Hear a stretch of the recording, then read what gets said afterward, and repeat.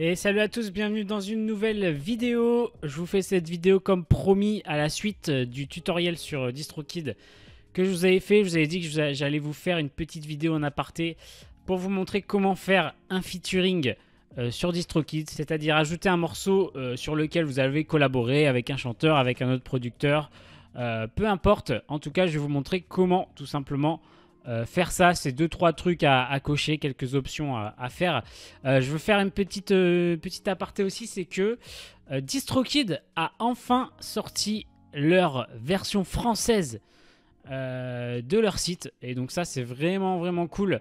Euh, je sais pas s'ils ont vu ma vidéo, mais en tout cas, ça s'est passé un mois, je crois, ou deux mois après que j'ai sorti ma vidéo en décembre. On a eu enfin la version française.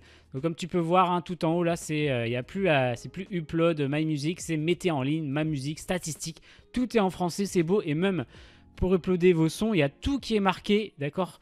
Euh, Toutes les spécifications ici qui sont marquées en français. Donc ça, c'est vraiment très très beau pour ceux qui sont vraiment nuls en anglais. Euh, ouais, regarde, regardez ça, tout est marqué en français, c'est trop cool. Euh, donc du coup, c'est parti pour le petit tuto sur comment faire un featuring. Donc euh, une fois que tu veux uploader ta musique sur, le, sur laquelle tu as collaboré avec quelqu'un, donc je te refais pas le tuto hein, pour l'upload, j'avais déjà fait, je vous mets la vidéo en description. Eh bien, tu descends, donc bien sûr, tu as tes plateformes connectées, d'accord, avec ton nom d'artiste. hop, hop, hop. D'accord, à savoir que tu mets pas, euh, bien ton nom d'artiste principal. D'accord, tu mets pas l'autre artiste avec qui tu as fait un featuring. Je vais te montrer, il y a une petite case pour mettre. D'accord, les artistes avec lesquels tu as fait un featuring. La date de sortie, la belle, la langue, le genre, la pochette. Voilà. Donc quand tu arrives sur la piste, d'accord, ça c'est pareil, ils te disent ne mentionnez pas ici les artistes en featuring, ajoutez-les plutôt ci-dessous. D'accord? Tu attends encore avant d'ajouter les artistes comme je t'ai dit, tu vas avoir une petite case. Donc je te refais un petit peu le même process que j'ai fait pour un track qui s'appelait Control. Euh, j'avais fait un featuring avec Bobby John. Euh, euh, et, du coup, et du coup, le track est bien sorti sur les deux profils. Ça a bien fait le featuring et on a bien aussi split aussi nos revenus. C'est ce que je vais te montrer juste après. Donc, du coup, c'est ici même que tu vas ajouter un artiste en featuring au titre de la chanson. Non, ne pas afficher d'autres artistes dans le titre de la chanson. Et nous, on va cocher oui ajouter les artistes en featuring dans le titre de la chanson. Donc artiste en featuring, hop, Bobby John. Comme ceci. Euh, si jamais t'en as un autre, tu peux en ajouter, tu cliques là, ok, et tu rajoutes encore des noms. Je vais aussi mettre un remixeur si jamais tu sors un pack de remix ou quoi d'un morceau. Euh, mais là, euh, nous, c'est surtout pour te montrer comment, par exemple, ajouter un chanteur à ta musique, hein, parce qu'on est surtout beaucoup de producteurs qui me suivent. Donc Bobby John, après, du coup, voilà, ça va s'afficher comme ça. Après, ils te disent les titres sont affichés différemment selon les services de streaming. Il se peut donc que votre titre n'apparaisse pas exactement comme ci-dessus. Ce n'est pas grave. Voilà, on s'en fout. Ce qui, qui compte, c'est qu'il y ait les deux artistes. Et en tout cas, tous les artistes avec qui euh, tu as fait ton feat. Donc après, tu mets ton audio, ça tu sais faire, etc. etc. Auteur-compositeur, alors là, pareil. Donc si toi, imaginons, tu as fait l'instrumental et tu collabores avec un artiste qui pose sur ton instru. D'accord? Donc toi, tu vas plus mettre musique, tu vas mettre ton nom et prénom. Ok? Et tu vas ajouter en parole le nom et prénom de l'artiste. Ok? Ça, c'est pour, les droits d'auteur. Pour les droits d'auteur, etc., c'est votre vrai nom et prénom qui est pris en compte pour euh, ramasser vos royalties.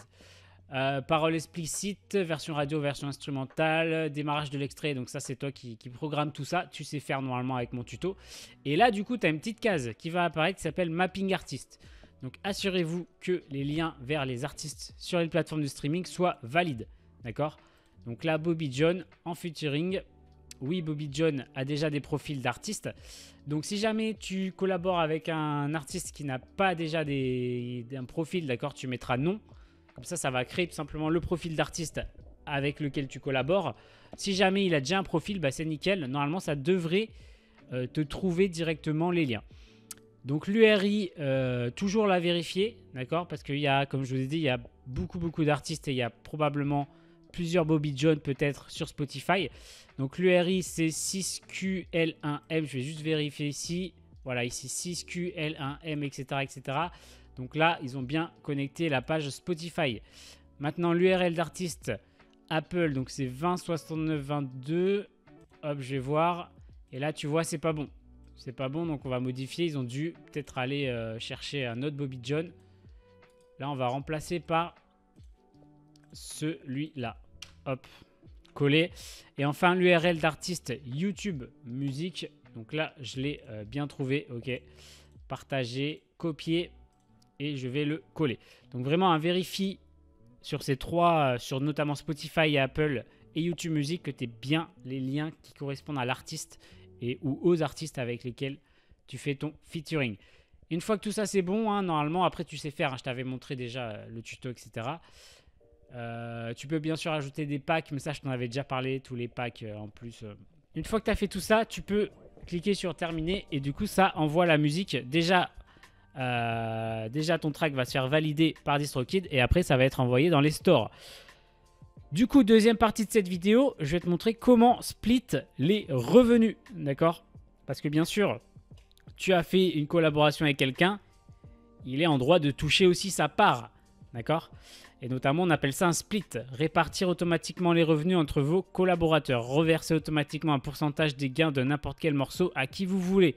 Ajoutez vos collaborateurs, producteurs, euh, membres du groupe, manager, nous les paierons directement euh, sans que vous ayez à vous en préoccuper. C'est gratuit pour tous les membres de DistroKid. Donc il faut savoir hein, que si tu collabores euh, avec quelqu'un qui n'a pas DistroKid, tu ne pourras pas faire ce split, d'accord? Il faut que la personne ou les personnes avec qui tu collabores, ils aient aussi un compte DistroKid parce que bah, on, va, on va avoir besoin de leur email tout simplement pour faire le split.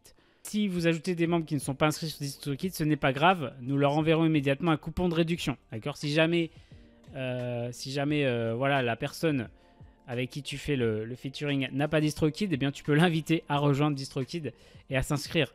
Du coup, le petit tuto rapide, donc tu sélectionnes bien sûr le morceau que tu as envoyé euh, aux plateformes, hop, par exemple celui-ci, tu fais continuer. Et là, du coup, d'accord, c'est là où tu vas choisir le pourcentage de split des revenus. Donc là, actuellement, mon morceau, il est 100% pour Lucas F, d'accord, donc ça c'est mon prénom et mon nom. Et du coup, pour ajouter les artistes ou l'artiste avec lequel tu fais un featuring, tu fais ajouter un collaborateur. Ok? Sélectionner un collaborateur et ajouter une nouvelle personne. Quand, tu vas faire ça, ça va demander de rentrer leur adresse email, exactement la même, d'accord, qu'ils ont sur DistroKid. Et du coup, tu vas pouvoir euh, faire le split. Moi, je l'ai déjà fait avec Bobby John. Donc, imaginons, je reprends son email et je décide, par exemple, de euh, lui donner, en général, c'est ce, ce qui se fait souvent, c'est 70-30.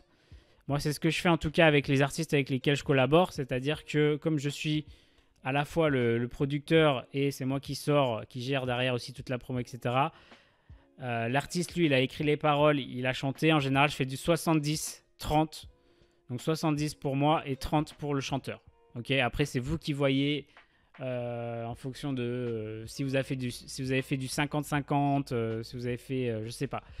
Ça, vous en discutez avec l'artiste, hein, tout simplement. Hein. Vous, discutez avec lui de combien, combien vous, faites. Vous, même, peut-être vous faites un petit contrat, tu vois, un petit contrat que tu signes, hop.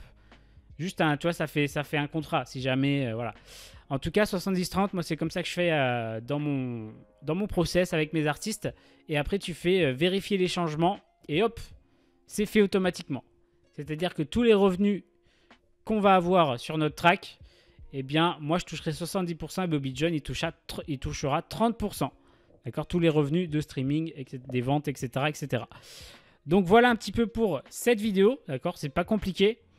Euh, je pense que ça, ça va servir à pas mal d'entre vous. Et puis, euh, puis, je vous dis à la prochaine dans une nouvelle vidéo. Ciao, ciao